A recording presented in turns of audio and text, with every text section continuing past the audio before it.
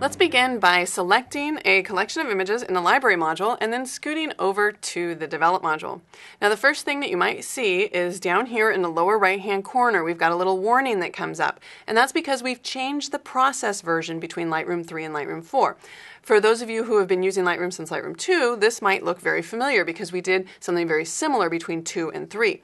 The difference is, is that between 2 and 3, we were changing things and improving the way that we enhance things like demosaicing and sharpening and noise reduction.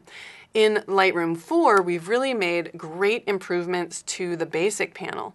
So if I want to change this to the newer process version, and by the way, the only reason that I'm seeing this is because I have already processed this file in Lightroom 3. If I'd never processed a file in Lightroom 3 and I'd only brought it into the Lightroom 4 beta or when we ship the, the Lightroom 4 version, we will not see this warning. So this is only if you've made changes in previous versions and now you're looking at those in Lightroom 4. So how do I update this process version? There's a variety of different ways. You can do it down here in the camera calibration tab if you want to, where it says process. We could uh, change that to the 2012. We could also go here underneath the settings menu and go to process. But really, I think it's much easier if we simply click on the warning. When we click on the warning, we're going to get an option to update well, if we have selected images, it'll say selected photos or all the film, film strip photos or just update this one. And you can review your changes before and after if you want to see what the difference is.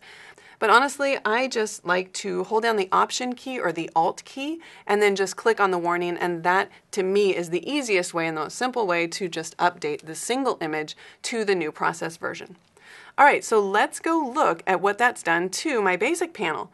You can see here that first off, all of my settings for all of my sliders are set to zero.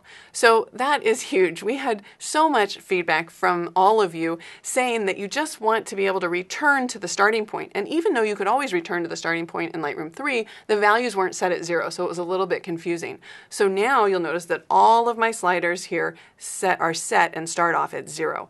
In addition, We've broken up the histogram into kind of five areas which I think are much more intuitive and easier to use. And in fact, if we position a cursor over the histogram, you'll notice that here on the left-hand side, I've got my blacks, then we go into the shadow area, then we go up into our exposure area or our midtone area, and over here we go to highlights, and then finally we go over to our whites. And we've got those exact same corresponding sliders down here. And another nice thing about these sliders is that they all work the same way. If I drag the exposure to the left, my image gets darker. If I drag it to the right, it gets lighter. It's the same for all of these different sliders. If I take my shadows to the left, my shadows get darker. If I take my shadows to the right, my shadows get lighter. And are you noticing here in this image, because I think this is a great example of the new shadow slider. Now, there is no more fill slider, and the reason that there isn't is because we received a lot of feedback that said that when you move the fill slider too far over to the right, meaning you were trying to really, really enhance those shadows or see into those shadows. So we were starting to move too much of the histogram, moving some of your midtone values. Well, if you were also trying to decrease your highlight values because your original photograph was taken maybe on a contrasty day, you were getting some kind of crossover kind of in those midtone areas and it wasn't looking very good. So we've isolated a little bit more tightly what this shadow slider does. So you can see that it's really only affecting the very shadow values of this image. If I wanted to bring down my highlight area, I can do that and you can see there in the edge around the window the change that that is making.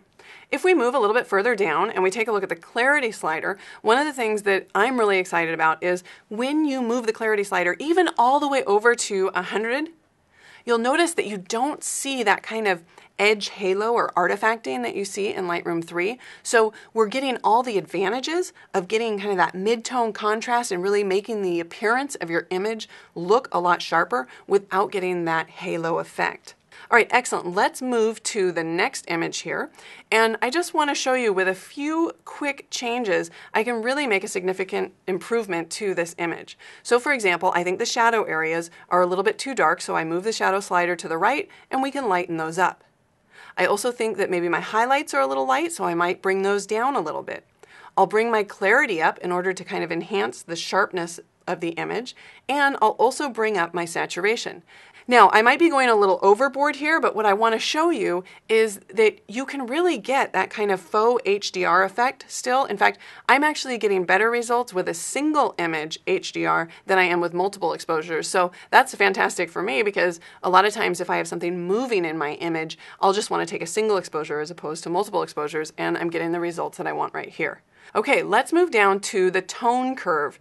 Now, for you advanced users, I think you're going to be really happy to see that when you're in the point curve, all right, now how did I get here? Because usually the curve looks like this, the tone curve, right? Down here in the lower right, we've got the point curve. If you click on that, look what I have now. I have RGB channels. So I can actually go in, if I only want to affect, for example, the green channel or the blue channel, I can select that and I can make my adjustments here. So if I wanted to kind of warm up the image, I would just bring that blue channel down a little bit. Excellent. Let's scroll down a little bit further. And we're going to go all the way down to lens correction.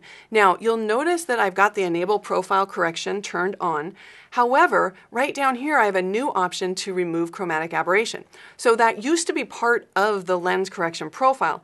However, we have improved the internal method for removing the chromatic aberration, and we find that we can do it much better on the fly than we ever could with a profile. So by just turning that on, um, let me zoom in here just in case you're not familiar with the chromatic aberration. This is a pretty good example of it here. I think you can see that there's this shift going on. We've got kind of a magenta green shift.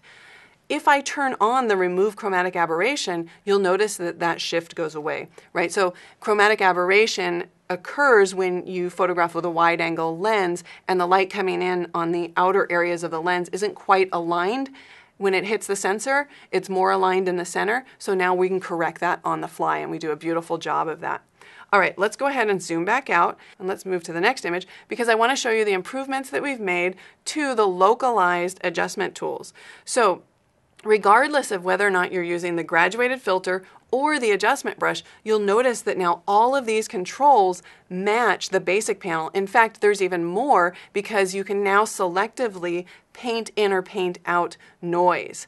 So this is fantastic because as we use the shadows, as we paint in with the shadows, we can at the same time remove any noise that might be generated. All right, so let's go ahead and make a few quick changes to this. And I did this on purpose. I want to show you here because I think it could be a little confusing for people. I'm not in the basic panel right now, right? I've clicked on one of these tools, so I'm actually in the, the localized adjustment tool. So just know that they look very similar now because, of course, all of those settings match, all of the sliders match. All right, so what do I want to do here? Well, I want to kind of boost up my shadows just a little bit. I don't want to go too far.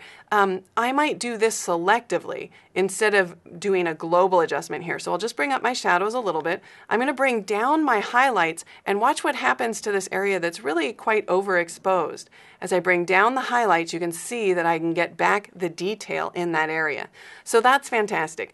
Let's go ahead now, grab that adjustment brush, and let's start painting with a different color temperature, right? We were unable to do this before. We could pick a color, but then I would have to know the opposite color and kind of pick that and paint with it. And it's not the same thing as actually painting with the temperature or tint slider.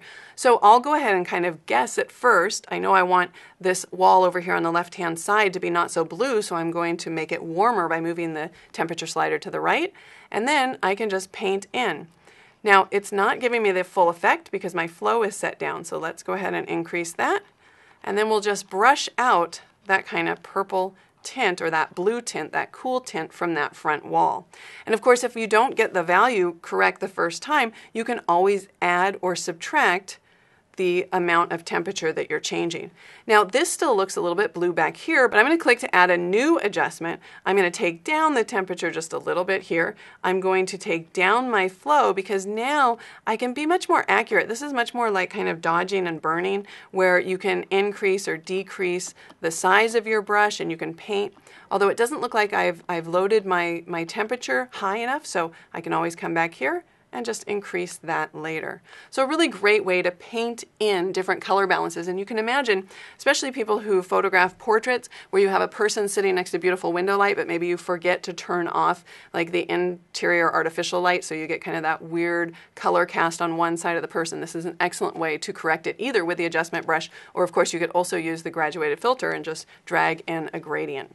And finally, I just wanted to show you really quickly, I'll increase my flow here. We'll set the temperature and tint sliders back, but I will increase the shadow slider here, and I'll do it really dramatically to make sure that we can see this. And we'll go ahead and paint here, just kind of dodging in those shadow areas to bring out some detail. Of course, if you don't like what you've done, you can hold down the Option key and that just toggles you to your eraser tool.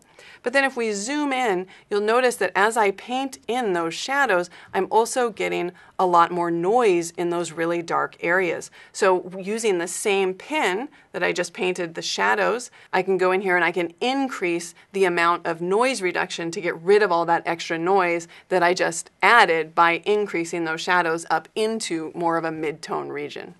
All right, excellent. Two more things that I'll just mention to you, both having to do with presets. When you do save presets in the Lightroom 4 beta or in Lightroom 4, just know that this little option right here to save the process version, although it's not new, it might become much more important as we move forward because of these big changes that we have made in tonality in the basic panel. So just be cognizant that you are able to save your process version. And also you'll notice either in the library module or when you go and import files, when you access all these presets that you've created, we now keep them in those nice tidy little folders. So that's a huge plus for someone like me who uses presets all the time they would just appear in this huge list alphabetically and it took a long time to find them but now they're just all folder based. They'll stay in the same folders. These are the same folders that, of course, you've made in the develop module, right? Right here. So that's a huge improvement. I know it's sometimes it's the small things, but that's going to save me a lot of time. All right, excellent. That is it for the basic panel. We hope to get your feedback on this, so thank you so much for watching.